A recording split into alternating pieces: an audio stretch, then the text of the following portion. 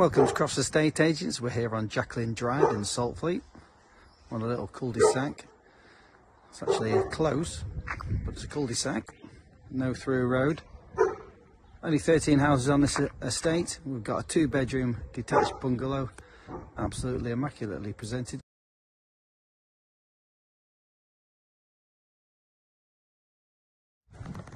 Formerly three bedrooms, one of the bedrooms converted into more of a living accommodation with a conservatory extension. You can see I've got an open driveway to electric roller door garage. Neat frontage with a low wall. There's a path to the side there and through to the back.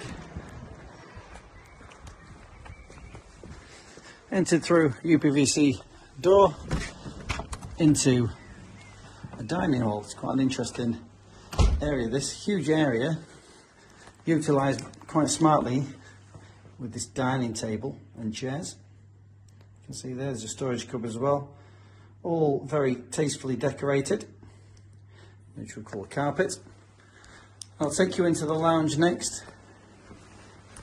Beautiful lounge again, superbly presented.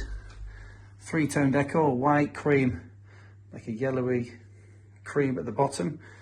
It's like an egg, um, duck egg fireplace colour, covered radiators, nice deep UPVC bay with fitted blinds, Roman style fireplace there, wall lights, an essential light, and then we'll go across into what was the third bedroom, which is now another reception room, could be used as a bedroom again.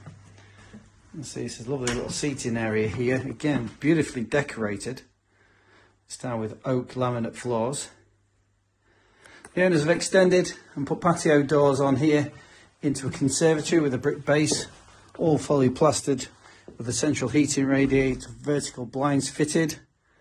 It's a beautiful space, making the most of the south facing aspect of the garden.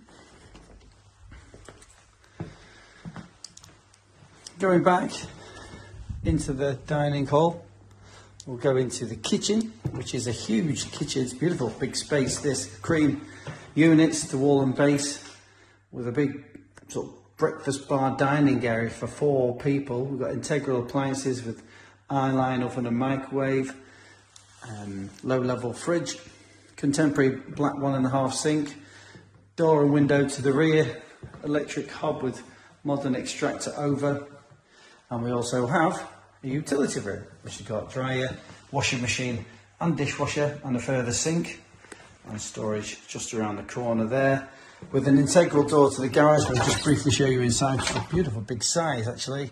Plenty of room for a car, all shelved out for storage with power and light. I'll take you into the bedroom. Reminder on Jacklin Drive in Saltfleet. It's property, it's a two bedroom bungalow coming on the market for £329,950. So here we are into the main bedroom. We've got fitted wardrobes to both sides, drawers to the side, window to the rear. So no need for any furniture here, it's all fitted and it's all matching.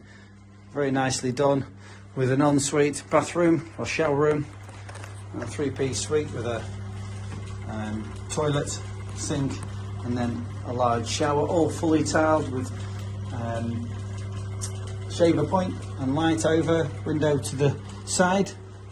That's the main bedroom.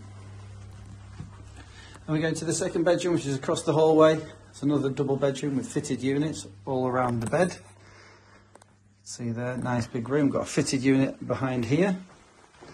All the way into the corner and another dressing table sort of fitted in there as well. Radiator, window to front.